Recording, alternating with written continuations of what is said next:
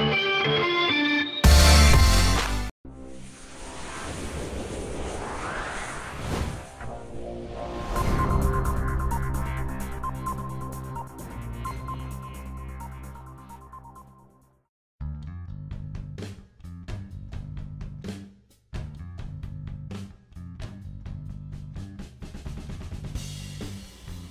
Hey guys, so today I'm going to show you a little bit different take on remote starters. So you've seen me do a video on bypasses for integrating with factory computer systems when you're installing a remote starter.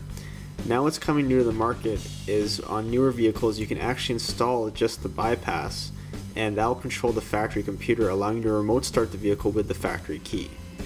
So today we're going to be showing you the Xpresskit. This is the D-Ball model and this model allows you to remote start the vehicle using the factory key. Here's the contents of the Xpresskit. Here you have your bypass module and all the harnessing. I highly recommend that you have a professional shop install this for you. Yes, compared to a remote starter, when you're using RSR mode or remote start ready mode, it is less product that you have to install, but there's still a good amount of wiring when you're installing these. There are T harnesses available, but at the same time, you need a dealer's account to log in to program these, and you'll also need the Xloader as well to interface between your computer and the actual module. When you're dealing with newer vehicles and all these computers, if you're not that experienced installing remote starters, you should just have a professional shop install it for you because then you have them backing up with their warranty. So why would you want to install this as opposed to having this as well as a Viper unit or an auto start or even a Compustar for example?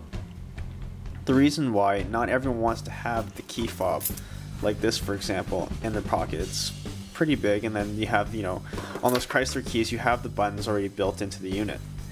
Some people just want to have a nice slim unit and have it all in one, you know, make it look all factory. The only downside to this is you're limited by the range of the factory key fob. What you can do though is you can add a remote uh, extender, but you will be adding a new key fob and or you could also add smart start to this unit as well so your your range is pretty much only limited by your cell phone coverage um, if you want to look more into smart start i got another video up i can show you guys as well i'll post a link for it right here now to use RSR all you have to do is take your OEM and hit lock three times within 4 seconds that's how we programmed it. This truck's also a diesel so I have it on a 15 second delay timer.